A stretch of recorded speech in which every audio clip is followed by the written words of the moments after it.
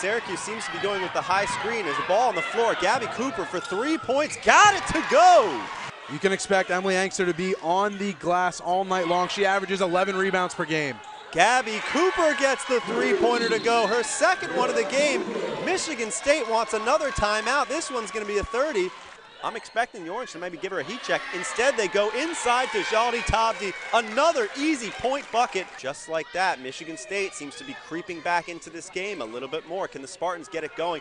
Oh, Great wow. drive there by Kiara Lewis. Getting fancy with it, just using the left hand to scoop it and lay it in. Yeah, she's a righty, but uses the left hand whenever she wants. But Michigan State gets the ball going the other way. Easy bucket for Moira Joyner. Here, try and get their points in the paint like they've been getting so far this game.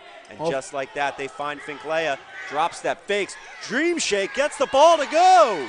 Although this is a 10-point game, it feels a lot closer. And a steal by Cloud, and She's got nobody near her, takes it with the left hand, and it's an eight-point game. Single digits for the first time since early in the first quarter. Mardrecia Cook wide open for three points. She gets it to go. Three point game, Lady Spartans.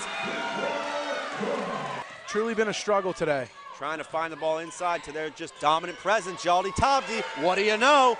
Another bucket. They do the same play as last time, trying to get the ball inside. Coming of a hesitation pick. Left-handed shot from Kiara Lewis and the foul. This entire game, she's really done a great job of controlling the tempo of the game. Backdoor cut by Gabby Cooper and the foul. Wow. Frustration with Hillsman as Moira Joyner gets in front of the break, puts the layup in, gets it to go, 61 to 54 with under seven to play. Just to the rim. As the maestro of this comeback would have to be Taryn McCutcheon as a quick jump shot by Nia Clouden, 61 Syracuse, 58 Michigan State. Hounded by Michigan State defenders. As she tries to get the ball inside, can't get it to go. Shot clock is fired, foul, but Talea Washington gets the rebound and puts it in, and the foul. Against the dominant Emily Engstler, who has 11 points, 15 rebounds, 5 assists, and 2 blocks. And she drives the lane again and getting everything she wants all game long.